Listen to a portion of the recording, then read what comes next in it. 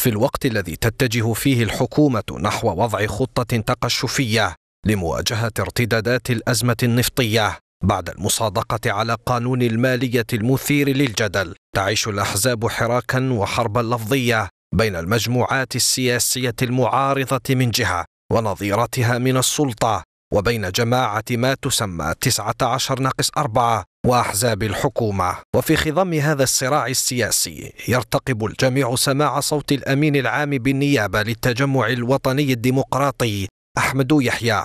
فالرجل الذي يعمل بالقرب من الرئيس بوتفليقة كمدير لديوانه برئاسة الجمهورية. ومنذ عودته لقيادة سفينة الأرندي بداية الصيف الفارط ظل يشعل الجدل مع كل تدخل له يناقش واقع البلاد.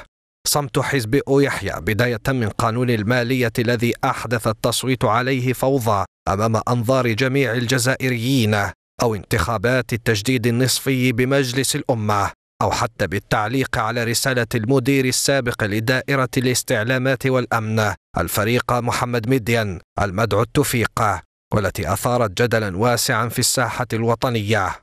يحيى ربما ولواجب التحفظ الذي يحتكم إليه كمسؤول رفيع في الدولة. فرض عليه عدم الدخول على الخط حتى تهدأ رياح التجاذب التي أثارتها رسالة الفريق مدين وحسب المعلومات المتوفرة فإن الأمين العام بالنيابة للأرندي عقد نهاية الأسبوع اجتماعا للأمانة الوطنية إلا أنه لم يصدر أي بيان كالعادة. حول فحوى الاجتماع الذي يكون قد تمحور حول انتخابات التجديد النصفي لأعضاء مجلس الأمة وهو الأمر الذي يطرح الكثير من التساؤلات حول الصمت الذي يلتزم به ثاني أكبر القوى السياسية في البلاد. مجتمعنا لازم يفهم